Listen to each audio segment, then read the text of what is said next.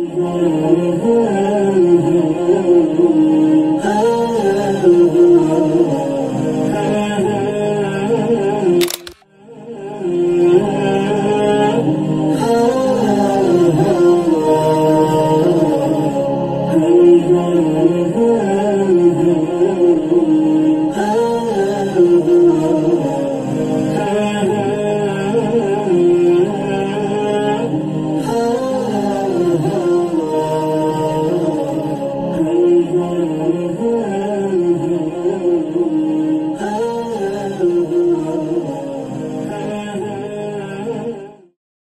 السلام علیکم welcome back to my YouTube channel Suleman Khan vlogs آج میں اپنا شہر ڈیرہ اسماعیل خان میں جنوبی سرکلر روڈ کی طرف آج آپ کا وزٹ کراؤں گا، جہاں پہ چپلی کباب اور قابلی پلاؤ جو ہے نا، آپ کو ملے گا۔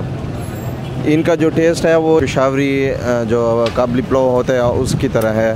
تو میں آپ کو اس کا وزٹ بھی کراؤں گا اور اس کے میں دکھاؤں گا بھی صحیح کہ کیا کیا چیز ہوتی ہے۔ کیسے ہیں جی؟ خیریت سے ٹھیک ٹھاک ہیں؟ طبیعت سے ٹھیک ہے جی؟ کیا نام ہے بھائی کا؟ عبداللہ جان۔ عبداللہ جان۔ کہاں سے تعلق رکھتے ہیں؟ پشاور سے۔ پشاور سے اچھا ماشاء اللہ۔ تو اس میں کیا کیا چیز ہوتی ہے؟ یہ کباب مسالے اس میں چودہ آئٹم ہے ٹھیک ہے؟ ٹھیک ہے اور دوسرا جو ہے نا دھنیا ہے یہ زیرہ ہے یہ دڑا مرچ ہے اور یہ سبز مرچ ہے ٹھیک ہے۔ ہاں اس میں کیمو ہوتے ہے پیاز بھی ہوتے ہے ٹماٹر بھی ہوتے ہیں انڈے بھی مکس ہوتے ہیں اچھا۔ انردانہ بھی مکس ہوتا ہے ہے۔ تو اور بھی اس طرح کوئی آئٹم ہے کہ وہ نمک ہو گیا دوسرا چیز وغیرہ ہو گیا۔